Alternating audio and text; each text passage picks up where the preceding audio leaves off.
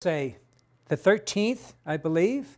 Some areas in the country, they celebrate the Ascension, 40 days after Easter, but here in our diocese, Orlando, we have pushed it to the Sunday. So this is really the sixth week of Easter. Reading for the Acts of the Apostles.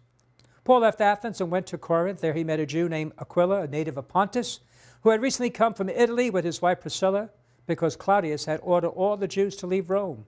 He went to visit them, and because he practiced the same trade, tent maker, stay with them and worked, for they were tent makers by trade. There you go. Every Sabbath he entered discussions in the synagogue, attempting to convince both Jews and Greeks. When Silas and Timothy came from Macedonia, Paul began to occupy himself totally with the preaching the word, testifying to the Jews that Christ was Jesus. When they opposed him and reviled him, he shook his garments and said to them, Your blood be on your heads. I am clear of responsibility. From now on, I will go to the Gentiles. And so he left there and went to a house belonging to a man named Titus Justus. The word of the Lord. Well, he went to them first, the Jews, but they were not receptive. He said, Okay, fine. I'm out of here. I'll go where I'm accepted to the Gentiles, see if they'll be open to hear God's word. Many, many years ago, I was in Ormond Beach. What I thought I had was a nice youth center. We had this old Quonset hut. It used to be used like storage, but then we cleared it out.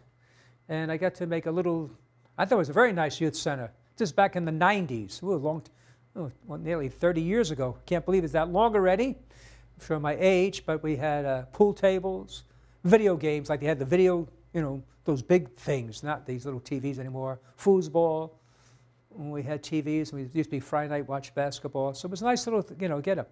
Everything was free. I used to get these old from the mu music places, you know, video games places, and they'd give me the older ones, or they fixed it. The guy went to my church, I think, so he got it. So anyway, I had all the Pac-Man, all those ones. So the kids loved it. Well, I thought the kids loved it. And my intention was kids at our church. We had open Friday nights.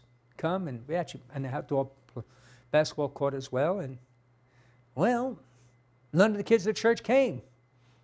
I said, oh boy, that's a bummer. Get all this. Well, I said, I have it.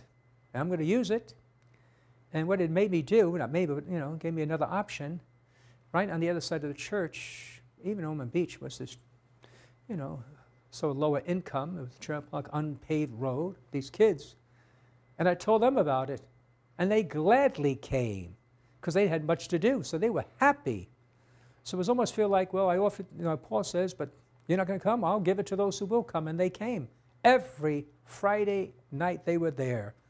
And so they really appreciated it, really enjoyed it. And we developed, we had a little tutoring for them. And then one young girls, 15, whatever, she be, became pregnant. We had a shower for her. We took care of her.